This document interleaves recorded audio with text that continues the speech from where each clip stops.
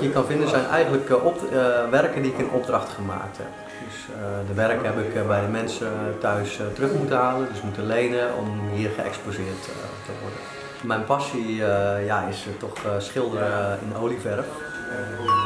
en dat zijn vooral portretten. En heel af en toe doe ik ook landschappen, maar op het moment ja, heb ik het gewoon heel erg druk met het maken van portretten in opdracht. Dus dat ik eigenlijk niet aan landschapsschilderen toekom.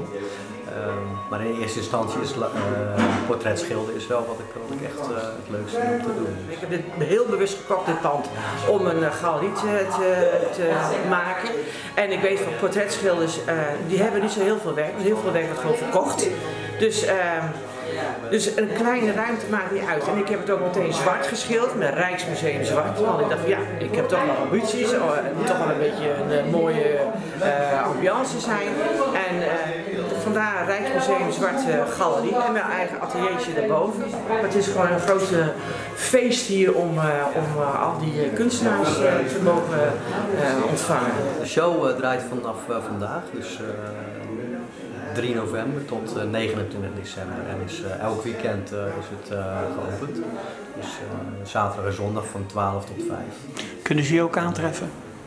Zo kunnen we af en toe wel aantreffen. Vandaag is de meet and greet, dus dan ben ik hier sowieso aanwezig. Ehm, en daarna dan ben ik niet elke weekenden, want ik heb, ik heb het ook wel druk met de opdrachten waar ik mee verder moet. Ben ik in mijn atelier bezig.